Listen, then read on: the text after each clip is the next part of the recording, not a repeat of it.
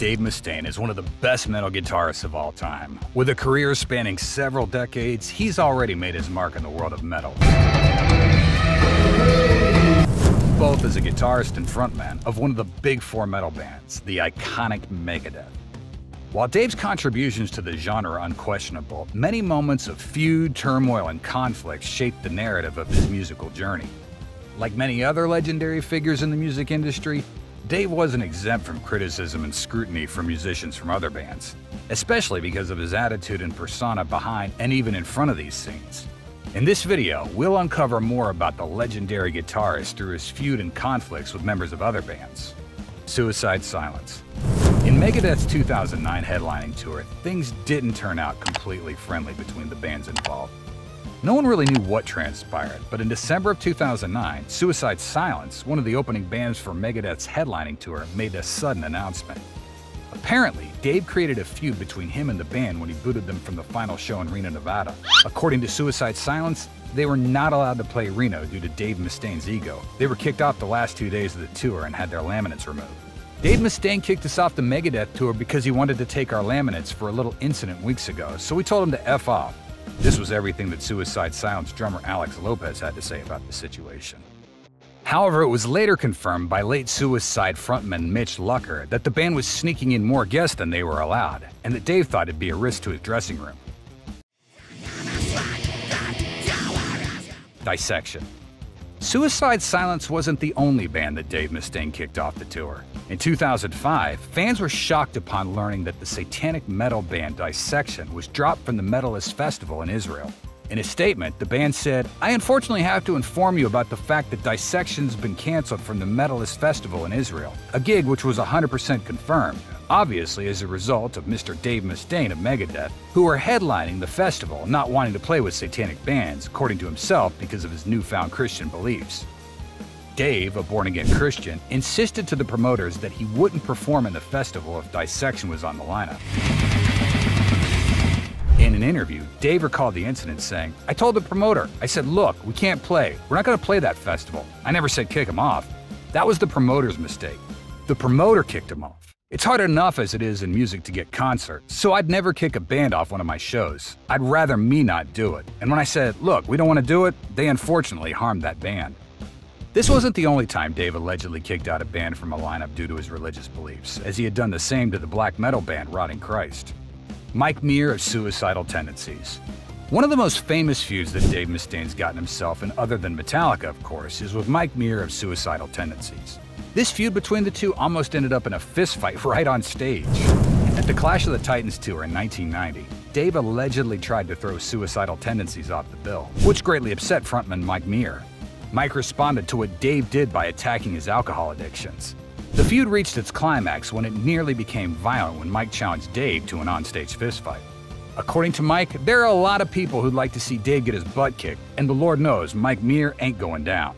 However, when things escalated, Dave convinced Mike that if he wanted to fight, they should fight after the tour like gentlemen. Fortunately for Dave, Mike listened and got out of the altercation. Dave said Mike was a big guy and he probably would have stamped me pretty good. In the book, Louder Than Hell, Dave recounted the incident, saying that the whole feud started because Mike Muir was a no-show during the promotional photo shoot of the event, which offended him. From there, Dave told the press that suicidal tendencies were unprofessional and undeserving of their spot in the lineup. Chuck Billy of Testament. When Testament had their first ever U.S. arena tour, they did what any band would do. They spent on their stage production. The tour was an excellent opportunity for them, so they knew that splurging on things to make their show more memorable was the right move. However, things didn't go the way they planned, all because of one person. Yeah, Dave Mustaine. When Chuck Billy, Testament's vocalist, recalled that tour, he said they bought two new scrims, full on backline, the whole deal. Nice looking show. Sadly, they were surprised because we get the first show and Dave Mustaine sees us have it up and he says we can't use it. We had a little problem in the first week of the tour. Anyone who spent a fortune to improve the visuals for their shows will not be pleased upon knowing that they can't use all of it. So naturally, Chuck was pissed. He said, We spent all this money, and those were the days when they were hand painted backdrops. These backdrops were 15, 20 grand. They weren't cheap back then. But Dave threw his weight around and said we can't use all of our new stuff. So for the first week, we were like tails between our legs playing. What Chuck did, upon the insistence of his bandmates, was to reach out to Rob Halford of Judas Priest. Rob had no idea about the situation, so he asked the tour manager, and he too had no idea. Dave made it purely his decision not to let Testament use the things for their production. Chuck said that when he told Rob, Rob told them to go up there and use all their equipment. Recalling that night they finally used everything they bought, Chuck said, And who comes side stage to watch the show? There goes Mr. Mustaine. Mr. Mustaine is just standing there, just pissed off. He just had that look. Kerry King of Slayer. It's no secret that a lot of fellow musicians can't stand Dave. Kerry King of Slayer was one who had the opportunity to work with Dave, but it didn't quite end up positively. In 1984, Kerry joined Megadeth as a rhythm guitarist. However, after only five shows together, Kerry got fed up with Dave and left the band. According to King, he doesn't know how anyone could stand Dave for more than a couple hours because he's crazy. The incident turned into a long-standing feud, but the two were still able to work with each other, even touring together in 2010. Nowadays, neither side really cares anymore, but they didn't really make up. Aerosmith. In 1993, Megadeth was supposed to be part of a 25-date tour with Aerosmith. However, Megadeth didn't even get to half of those shows when they were abruptly fired from the tour. According to Megadeth bassist Dave Ellefson in this autobiography, the tour with Aerosmith was already rocky from the start. It was only two shows into the tour when Dave expressed that he was unhappy with how things were produced. Megadeth wasn't getting enough space on stage or a sound check, which really disappointed the band. However, according to Dave's book, Rust in Peace, he struggled with addiction during that time. They only went on tour with Aerosmith because the band's handlers thought it would keep Dave sober. Both Dave and David talked to Steven Tyler about their issues on the tour, saying that they weren't just some unknown group. That's where Aerosmith frontman Steven talked to them to smooth things over and even offered to help them with their addiction. However, Dave wasn't satisfied. The assurance given to him weren't delivered, so he became more frustrated.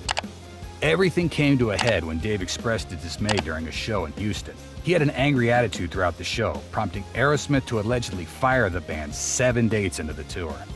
Megadeth's label, Capitol Records, issued a statement at the time, claiming that the band quit the tour over artistic restrictions. This event was another missed opportunity for the band. Ultimately, it opened Dave's eyes to the fact that his addictions were getting in the way. In an interview, he said about Aerosmith, I wanted my life to be better, and I saw that theirs was because they'd gotten sober. So yeah, we were probably a little snotty. It's clear that Dave Mustaine has talent that brought him to the top. He's a legend in his own right, creating his own influence in the heavy metal scene. However, his conflicts and feuds with fellow musicians show another side of him. Although these may seem like problematic events, they played a big role in where Dave's at in his life. Whatever you think of the icon Dave Mustaine, he's here to stay with more music and vibrant stories.